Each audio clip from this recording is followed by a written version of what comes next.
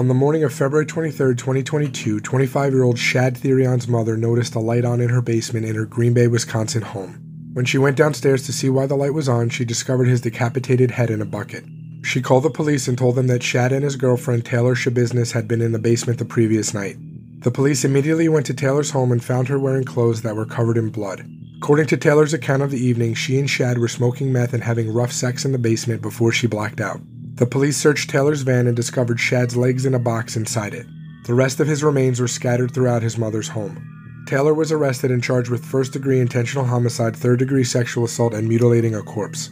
She pleaded not guilty by reason of mental disease or defect.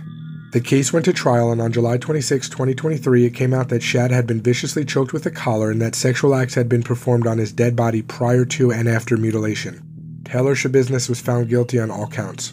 She will be sentenced on September 26, 2023.